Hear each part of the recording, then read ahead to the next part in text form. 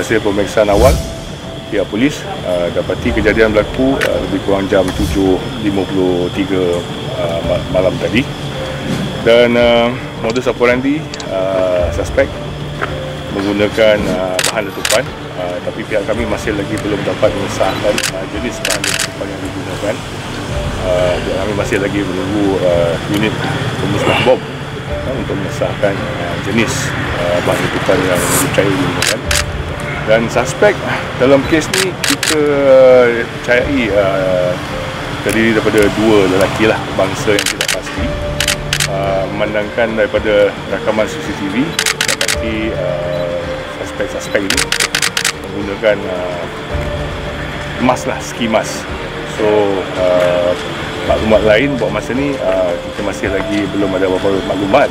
Uh, tapi kita masih lagi uh, uh, menyiasat uh, daripada segi uh, rakaman CCTV di kawasan uh, persekitaran lah.